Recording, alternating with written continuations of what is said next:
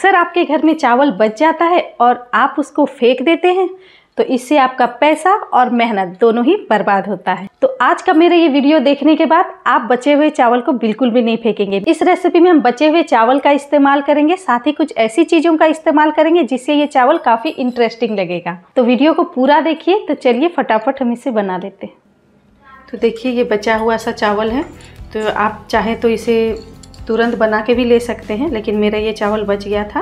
तो यहाँ लगभग देखिए, दो कटोरी के इतना, बड़ा दो कटोरी के इतना चावल बच गया है। तो यहाँ चावल में हम दो अंडा मिलाएँगे। तो यहाँ मैंने बत्तख का अंडा लिया है, आप चाहे तो पोल्ट्री मुर्गी का अंडा भी ले सकते हैं। तो इसे हम यहाँ चावल में डाल देंगे।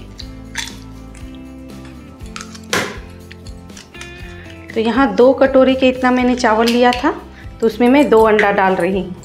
यहाँ एक चम्मच के इतना नमक डालेंगे। तो इसे हम थोड़ा तीखा तीखा बनाएँगे, इसीलिए आधा चम्मच के इतना हम लाल मिर्ची का पाउडर डालेंगे।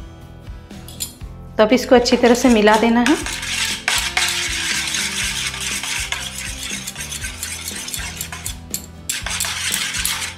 अब चावल को भी इसमें मिक्स करते जाएँ।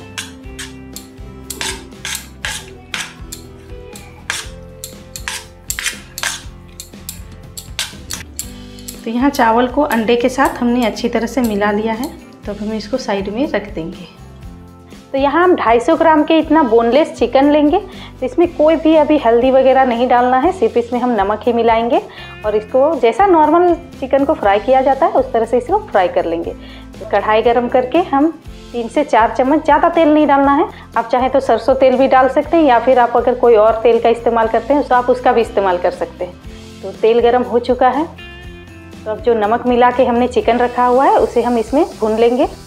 तो चिकन को भूनने में यहाँ तीन से चार मिनट ही समय लगेगा। ज़्यादा टाइम भी इसमें नहीं लगेगा क्योंकि ये पोल्ट्री चिकन है। तो यहाँ आप एक चीज़ का ध्यान दें कि चिकन के पीसेस को ज़्यादा बड़ा नहीं रखना है। इससे ये जल्दी बॉयल भी हो जाएगा और फ्राई भी हो जाएगा।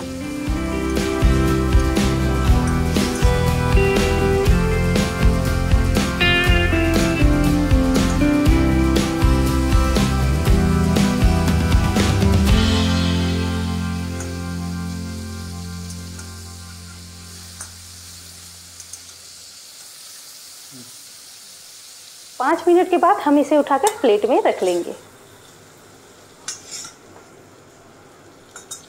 पैन गरम हो गया है तो अब हम इसमें 50 एम के इतना सरसों का तेल डालेंगे। तो इसमें थोड़ा ज़्यादा ही तेल डालना है, क्योंकि इसमें हम चावल को भी बनाएँगे और सब्ज़ी भी ऐड करेंगे। तेल गरम हो जाने पर इसमें एक मिर्ची और एक कटा प्याज डालना है।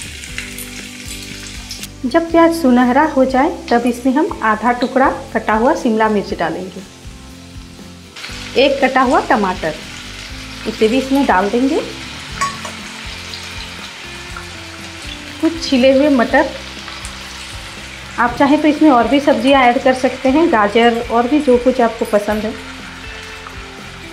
और जो भुना हुआ चिकन हमने भुन के रखा था, उसको भी हम इसमें डाल देंगे। अब सब्जियों के हिसाब से इसमें एक बार नमक डालना है। इसे अच्छी तरह से मिला दें।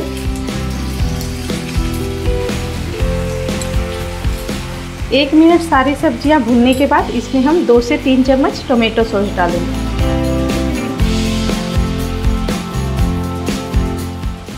इसे मिला देना है।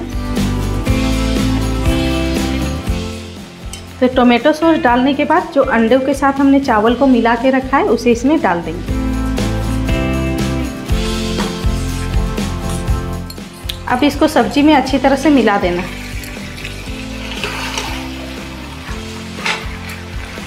थोड़ी देर बाद इसे फिर से उलट पलट करते रहें। तो बीच बीच में इसे उलट पलट करते रहें ताकि अंडा कच्चा ना रहे। तो फ्रेंड्स, ये बहुत ही कमाल की रेसिपी है। इसमें अंडा भी है चिकन भी है। सर्दियों में ये अक्सर शरीर को गर्म भी रखता है और खाने में काफ़ी स्वादिष्ट लगता है। तो आप यहाँ एक बात का ध्यान ज़रूर रखें कि देखें अंडा बिल्कुल भी कच्चा ना रहे।